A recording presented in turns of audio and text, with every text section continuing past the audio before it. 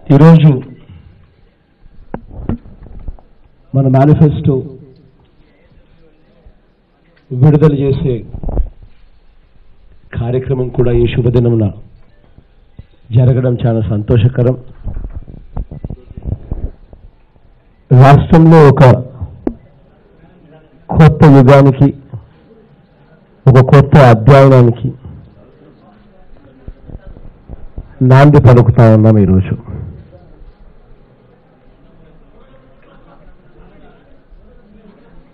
Manifesto అంటే ఏమిటి అన్నది మొట్టమొదటగా నేను చెప్పాలి.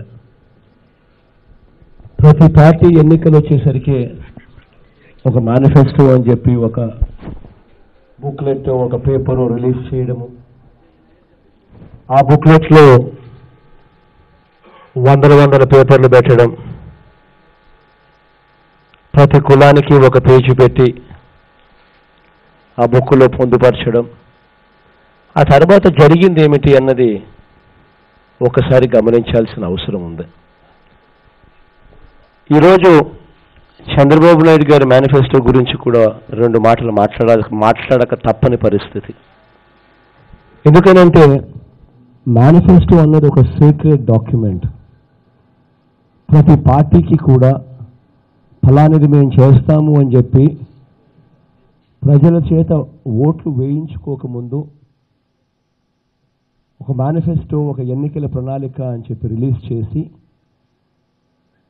ఓట్లు ప్రజలతో వేయించుకున్న తర్వాత ఆ మేనిఫెస్టోలో చెప్పిన అంశాలను ఆ ప్రభుత్వం చెయ్యకపోతే ఆ ప్రభుత్వం మోసం చేసినట్టు కాదా అన్నది ప్రతి ఒక్కరం కూడా ఆలోచన చేసుకోవాల్సిన అవసరం ఉంది. ఎన్నికల్లో గెలవడం కోసం ఒక మేనిఫెస్టో అని చెప్పి ఒక సుందరమైన పదం పెట్టి ఒక ఎన్నికల ప్రణాళిక అని చెప్పి ప్రజలను మోసం చేసే కార్యక్రమం జరగకూడదు.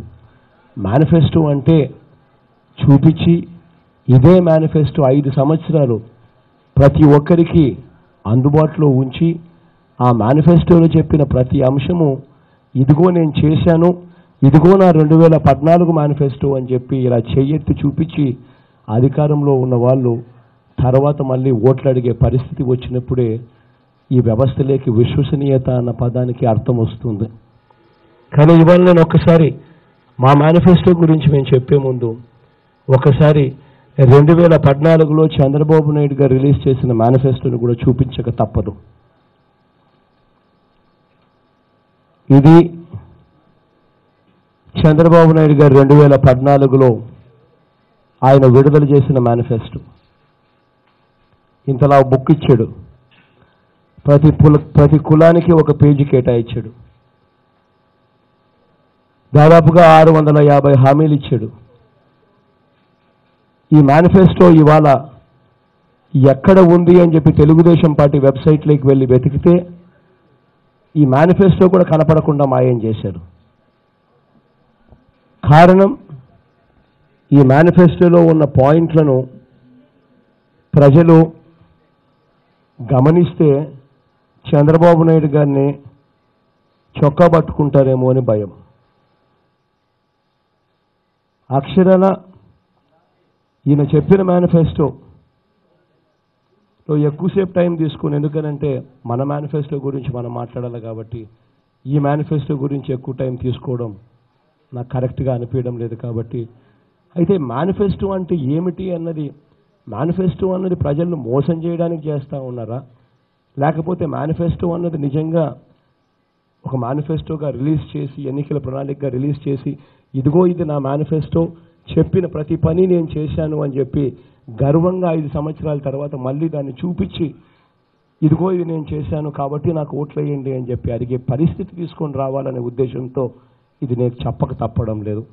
చంద్రబాబు నాయుడు గారు ఇచ్చిన ఎన్నికల వాగ్దానాలు వ్యవసాయ రుణాలు పూర్తిగా మాఫీ ఐదు వేల కోట్లతో ధరల స్థిరీకరణ నిధి డ్వాక్రా రుణాలు మా డ్వాక్రా రుణాలు పూర్తిగా మాఫీ బెల్ట్ షాపుల రద్దు మహిళలకు భద్రత ప్రత్యేక పోలీస్ వ్యవస్థ. మహిళలు సెల్ ఫోన్ ద్వారా ఐదు నిమిషాల్లో సహాయం అందించగల రక్షణ వ్యవస్థ. యువతకు ఉద్యోగి ఉద్యోగము ఉపాధి. రెండు ఇవ్వకపోతే రెండు వేలు నిరుద్యోగ భృతి గుడిసెల్లేని ఆంధ్రప్రదేశ్ పేద పిల్లలకు కేజీ నుంచి పీజీ వరకు ఉచిత విద్యుత్ ఉచిత విద్య. ఎన్టీఆర్ సుజల పథకం కింద ఇంటింటికి రెండు రూపాయలకే ఇరవై లీటర్ల మినరల్ వాటర్. ఇంకా ఇవన్నీ చదువుకుంటా పోతే ప్రతి కులానికి కూడా ఎస్సీలుగా చేస్తాము ఎస్టీలుగా చేస్తాము. కాడి నుంచి ప్రతిదీ కూడా కనిపిస్తుంది. చేనేతలకు రుణాల మాఫీ దగ్గర నుంచి మొదలు పెడితే అన్నీ కనిపిస్తాయి. నేను ఒకటే చెప్తా ఉన్నా ఈ వ్యవస్థలోకి విశ్వసనీయత అన్న పదానికి అర్థం రావాలి. ఒక మేనిఫెస్టో అన్నది ఒకటి ఎవరైనా రాజకీయ పార్టీ డిక్లేర్ చేస్తే ఆ మేనిఫెస్టో ఎవరు సామాన్య ప్రజలు ఎవరైనా కూడా ఆ మేనిఫెస్టో ఈ ఐదు సంవత్సరాల పాటు పూర్తిగా అందుబాటులో ఉండాలి? వాళ్ళ వెబ్సైట్లోకి వెళ్ళి బటన్ నొక్కితే కనిపించాలి. ప్రజలు ఈ మేనిఫెస్టో నువ్వు చెప్పావు ఈ మేనిఫెస్టోలో చెప్పిన అంశాన్ని ఎందుకు చేయడం లేదు అని చెప్పి క్వశ్చన్ చేసే పరిస్థితి ఉండాలి. దట్ ఈస్ కాల్డ్ మేనిఫెస్టో ఇవాళ రెండు వేల పద్నాలుగుకు సంబంధించి చెప్పిన ఏ హామీ నెరవేర్చకుండా మళ్ళీ మా మా మీటింగ్ మా మేనిఫెస్టో డిక్లరేషన్ అయిపోయిన తర్వాత ఇదే పెద్ద మనిషి మళ్ళీ మిమ్మల్ని అందరినీ కూడా పిలుస్తాడు. పిలిచి మళ్ళీ రెండు వేల పంతొమ్మిది మేనిఫెస్టో అని చెప్పి మళ్ళీ ఇదే మాదిరిగానే ఒక సుందరమైన ఫోటో పెట్టి ఇదే మాదిరిగానే మళ్ళీ రిలీజ్ చేసి మళ్ళీ రెండు వేల పంతొమ్మిది అని చెప్పి మళ్ళీ మేనిఫెస్టో పేరుతో మళ్ళీ ప్రజల చెవులో పూలు పెడతారు. దిస్ ఇస్ రియాలిటీ ఇది జరగబోతా ఉంది. ఇది రైటేనా అన్నది మనం ఒక్కసారి మనం అంతా కూడా ఇంట్రోస్పెక్ట్ చేసుకోవాలి. క్వశ్చన్ చేయాలి నిజంగా కూడా. ఒక చిన్న ఎగ్జాంపుల్ చెప్తాను. చంద్రబాబు నాయుడు గారు నిజంగా ఏ రకంగా మోసం చేస్తూ ఉన్నారని చెప్పడానికి ఎక్కువ సమయం తీసుకోకుండా మూడే మూడు మిష్యూస్ మీద ఒక క్లుప్తంగా నేను చెప్తా. అక్క చెల్లెమ్మలకు సంబంధించి పొదుపు సంఘాల్లో ఉన్న అక్క చెల్లెమ్మల గురించి. చంద్రబాబు ఎట్లాగో పొదుపు సంఘాల్లో ఉన్న అక్క చెల్లెమ్మలకు రుణాలు మాఫీ చేస్తానన్నాడు. ఒక్క రూపాయి కూడా తాను మాఫీ చేసింది లేదు అన్న సంగతి మీ అందరికీ కూడా తెలిసిన విషయమే అక్క చెల్లెమ్మలకు అందరికీ కూడా తెలిసిన విషయమే. ఈ పెద్ద మనిషి రుణాలు మాఫీ చేయకపోగా మే రెండు వేల పదహారు నుంచి సున్నా వడ్డీ అక్క చెల్లెమ్మలకు సున్నా వడ్డీకే ఇచ్చే పథకం. ఆ పథకాన్ని పూర్తిగా రద్దు చేసేసాడు. మే రెండు వేల పదహారు నుంచి గతంలో పొదుపు సంఘాల అక్క చెల్లెమ్మలకు సున్నా వడ్డీకే డబ్బులు ఇచ్చేవాళ్ళు. ఈయన మే రెండు వేల పదహారు నుంచి ఆ పథకాన్ని పూర్తిగా రద్దు చేసేసాడు. ఒకవైపున నిజం ఏదైతే ఈయన చేసిన మోసం ఒక్కసారి చూడమని అడుగుతా ఉన్నా. రామా పుట్టమ్మా. కూర్చోగలిగితే కూర్చోతండి కుర్చీ ఎక్కడైనా ఉంటే. దాన్ని నాకు ఇష్టం ఉన్నా మీరు ఏమైనా లేదు బుట్టమని కూర్చోపెట్టారు రామ్మా రాతలే తల్లి. చంద్రబాబు నాయుడు గారు ఇప్పుడు పసుపు కుంకుమ అంటూ ఇచ్చిన సొమ్మును ఒకసారి ఆలోచన చేయమని అడుగుతా ఉన్నా ఏ రకమైన మోసము అని. ఆయన ఇచ్చాడా ఆయన పసుపు కుంకుమ కింద పొదుపు సంఘాల అక్క చెల్లెమ్మలకు నిజంగా ఒక్క రూపాయి అయినా ఇచ్చాడా అన్నది నిజంగా మనం అంతా కూడా ఆలోచన చేయాలి. కారణం ఏంటంటే ప్రభుత్వం పొదుపు సంఘాలకు ఇవ్వాల్సిన సున్నా వడ్డీ పథకం కింద ఇవ్వాల్సిన డబ్బులు పూర్తిగా ఎగరగొట్టేశాడు రద్దు చేసేసాడు ఇది రియాలిటీ. సో ఒక్కసారి ఆయన ఒక్క రూపాయి అయినా మనకు ఇచ్చాడా నిజంగానే పసుపు కుంకం కింద అన్నది ఒక్కసారి ఆలోచన చేయాలి.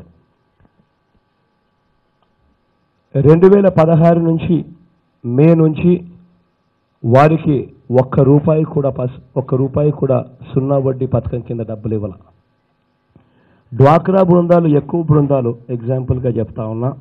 ఎక్కువ బృందాలు ఐదు లక్షల రూపాయలు ఏడు లక్షల రూపాయలు పది లక్షల రూపాయలు తీసుకుంటారు వాళ్ళ గ్రూపులు.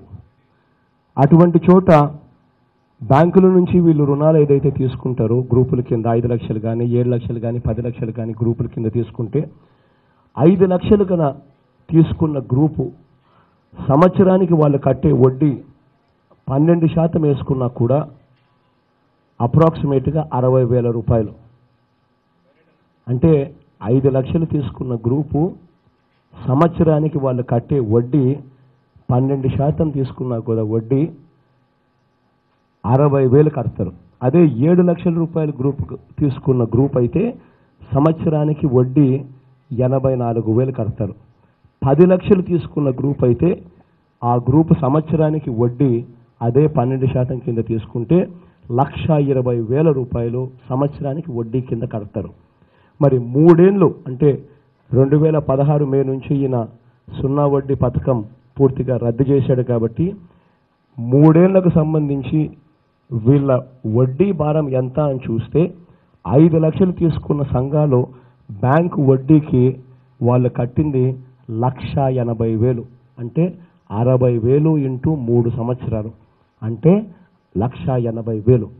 ఏడు లక్షల రూపాయలు తీసుకున్న పొదుపు సంఘాల అక్క చెల్లెమ్మలు వడ్డీ రూపేణ వాళ్ళు కట్టింది ఎంత ఈ మూడు సంవత్సరాలకి అంటే ఎనభై నాలుగు వేలు ఇంటూ మూడేండ్లు. అంటే రెండు లక్షల యాభై రెండు వేలు వడ్డీల కింద వాళ్ళు కట్టారు.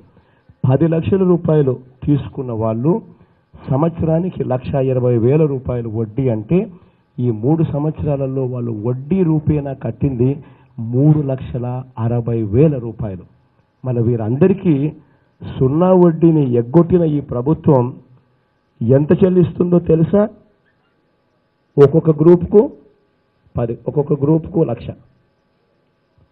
అంటే ఐదు లక్షలు తీసుకున్న వాళ్ళు కూడా వడ్డీ భారమే లక్ష ఎనభై వేలు కట్టారు ఈ మూడేళ్ళలో.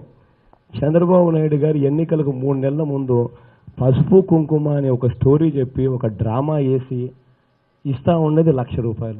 అంటే కనీసం వడ్డీలకు కూడా రాలా. అదే ఏడు లక్షల రూపాయలు తీసుకున్న వాళ్ళైతే వాళ్ళు వడ్డీ రూపేణా వాళ్ళు కట్టింది రెండు లక్షల యాభై రెండు వేల రూపాయలు కట్టారు. వాళ్ళకి పసుపు కుంకుమ డ్రామా కింద ఎన్నికలకు మూడు రోజుల ముందు ఇచ్చే అమౌంట్ లక్ష రూపాయలు. అంటే వడ్డీలకు కూడా రావడంలా. అదే పది లక్షల రూపాయలు డబ్బులు తీసుకున్న గ్రూప్ అయితే వాళ్ళ వడ్డీ భారమే ఈ మూడేళ్ళలో మూడు లక్షల అరవై వేల రూపాయలు. అటువంటిది చంద్రబాబు నాయుడు గారు ఇచ్చేది ఎంత? కేవలం గ్రూపుకు లక్ష రూపాయలు. అంటే ఇది మోసం కాదా అని అడుగుతా ఉన్నాం. ఇటువంటి దారుణమైన మోసాలు ఎన్నికల వేళ చేస్తూ ఉన్నారు. మళ్ళీ మేనిఫెస్టో అని చెప్పి మళ్ళీ రెండు వేల పంతొమ్మిదికి ఇలాంటి బుక్ రిలీజ్ చేస్తూ ఉంటే నిజంగా వీళ్ళు మనుషులేనా అని చెప్పి ఒక్కసారి క్వశ్చన్ చేయాల్సిన అవసరం కూడా అందరికీ ఉంది. రైతులకు సంబంధించి ఒక చిన్న ఉదాహరణ కూడా ఇదే మాదిరిగా చెప్పాలి. రైతులైతే చంద్రబాబు నాయుడు గారు ముఖ్యమంత్రి అయ్యే నాటికి వ్యవసాయ రుణాలు state level bankers committee report ఇచ్చిన నివేదికల ప్రకారం మీ అందరికీ కూడా తెలిసిన విషయాలే. ఎనభై ఏడు వేల ఆరు వందల పన్నెండు కోట్ల రూపాయలు చంద్రబాబు నాయుడు గారు ముఖ్యమంత్రి అయ్యే నాటికి ఉన్న వ్యవసాయ రుణాలు. ఈ బుక్ చూస్తే పూర్తిగా ఆయన అన్న మాటలు. వ్యవసాయ రుణాలన్నీ కూడా పూర్తిగా బేషరత్తుగా మాఫీ చేస్తాను అని చెప్పన్న మాటలు. ఆయన చేసింది ఏమిటి అని అంటే ఈ ఐదు సంవత్సరాలలో ఆయన మాట నమ్మినందుకు రైతులకు ఇవాళ ఐదు సంవత్సరాల తర్వాత ఆ వ్యవసాయ రుణాలు ఎనభై ఏడు వేల ఆరు వందల పన్నెండు కోట్ల రూపాయలు కాస్త ఈ ఐదు సంవత్సరాలలో వడ్డీలతో కలిసి తడిచి మోపుడై అవుట్ స్టాండింగ్ లోన్స్ ఈరోజు లక్ష యాభై వేల కోట్ల రూపాయలకు ఎగబాకాయి ఎనభై ఏడు వేల ఆరు వందల పన్నెండు కోట్ల రూపాయలతో మొదలు పెడితే చంద్రబాబు నాయుడు గారు ముఖ్యమంత్రి అయ్యే నాటికి వడ్డీలతో తడిచి మోపుడై అక్షరాల రైతుల అవుట్ స్టాండింగ్ రుణాలు లక్ష యాభై వేల కోట్ల రూపాయలకి ఎగబాకాయి ఈ పెద్ద మనిషి ఏమో ఈ పెద్ద మనిషి ఏమో ఎనభై ఏడు వేల ఆరు వందల పన్నెండు కోట్ల రూపాయలు మాఫీ చేస్తాను అని చెప్పిన ఈ పెద్ద మనిషి చేసింది ఎంత అని అంటే మొదటి సంతకం కింద ఆయన పెట్టింది ఇరవై నాలుగు వేల ఐదు వందల కోట్లు అని చెప్పి మొదటి సంతకం పెట్టాడు. ఇచ్చాడా అని చూస్తే ఇచ్చింది లేదు. సంవత్సరానికి మూడు వేల కోట్లు ఇచ్చింది. తీరా ఇచ్చింది ఎంత అని చూస్తే ఎన్నికల తేదీ వరకు అంటే నిన్న మొన్నటి వరకు ఇచ్చింది పద్నాలుగు వేల కోట్లు. ఐదేళ్ళకి కలిపి సంవత్సరానికి నాలుగు వేల కోట్లు మూడు వేల కోట్లు కూడా లేదు. అదే ఎన్నికలు ఇవాళ వస్తూ ఉన్నాయి కాబట్టి రెండు రోజుల కిందట మళ్ళీ అదే డ్రామా అదే మోసం రైతుల రుణమాఫీ అంటూ నాలుగో విడత ఐదో విడత సొమ్ము అంటూ మళ్ళీ ఇవాళ రైతుల అకౌంట్లో ఎనిమిది వేల కోట్లు వేసే ప్రయత్నం ఏదో చేస్తూ ఉన్నాడు. అసలు ఆయన ఎంత దారుణమైన మోసం ఇది అని చెప్పి నేను అడుగుతా ఉన్నా. రైతులు కట్టుకున్న అసలు రైతులు కట్టుకున్న వడ్డీలు ఈ ఐదు సంవత్సరాలలో కలిపి లక్ష యాభై వేల కోట్ల రూపాయలకు ఎగబాకిన పరిస్థితులు మన కంటికి కనిపిస్తూ ఉన్నాయి. కట్టాల్సినవి రైతులకు కట్టాల్సి రైతులు కట్టాల్సింది లక్ష యాభై వేల కోట్ల రూపాయలు అయితే పద్నాలుగు వేల కోట్ల రూపాయలు ఈయన ఐదు సంవత్సరాలకు కలిపి ఇచ్చాడు. ఎన్నికలు ఉన్నాయంటే రెండు రోజుల ముందు మళ్ళా డ్రామా మళ్ళా ఎనిమిది వేల కోట్లు ఇస్తా ఉన్నట్టుగా ఒక బిల్డప్. బంగారం మొత్తం బ్యాంకుల్లో నుంచి విడిపిస్తానని చెప్పాడు. బంగారం బ్యాంకుల్లో పెట్టిన బంగారం వేలం వేస్తూ ఉన్న పరిస్థితులు మన కళ్ళ ముందటే కనిపిస్తా ఉన్నాయి. రైతులకు ఈ పెద్ద మనిషి ముఖ్యమంత్రి అయిన తర్వాత ఈయన చేసింది ఏమిటో తెలుసా? రైతులకు ఇవ్వాల్సిన గతంలో ఇచ్చే సున్నా వడ్డీ పథకం రద్దు చేసేశాడు.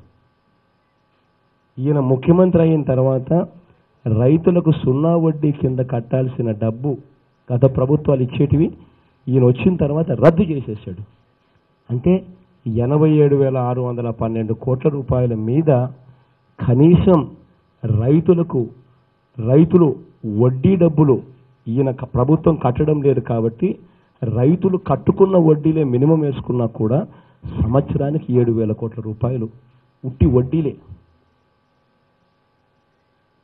ఏడు వేలు ఇంటూ కనీసం ఐదు సంవత్సరాలు వేసుకుంటే కనీసం ఏ రకంగా తీసుకున్నా కూడా మినిమంలో మినిమం ముప్పై ఐదు వేల నలభై వేల కోట్లు. ఈయన ఇచ్చింది ఎంత అని చూస్తే ఎన్నికల ఎన్నికలకు రెండు రోజుల వరకు పద్నాలుగు వేల కోట్లు. అంటే కనీసం వడ్డీలకు కూడా రాల. వాళ్ళ వడ్డీ సొమ్ములు గత ఈయన ఈయన ఈయన గత ప్రభుత్వాలు కట్టినట్టుగానే రైతుల తరపున కట్టవలసిన సున్నా వడ్డీ డబ్బులు కనుక కట్టి ఉంటే ఆ కనీసం ఆ రైతులకు ఆ నలభై వేల కోట్లన్నా వచ్చేది. కనీసం అది కూడా జరగకుండా ఇంతటి దారుణంగా మోసం చేస్తూ ఉంటే మళ్ళీ రెండు వేల తొమ్మిది వచ్చేసరికి ఇలా బుక్ రిలీజ్ చేసి మళ్ళీ మోసం చేసే కార్యక్రమం చేయడం ధర్మమేనా అని చెప్పి అందరం కూడా ఒక్కసారి మళ్ళీ ఆలోచన చేయాలి. ఇక మూడో విషయం చిన్న అంశం. నిరుద్యోగ భృతి.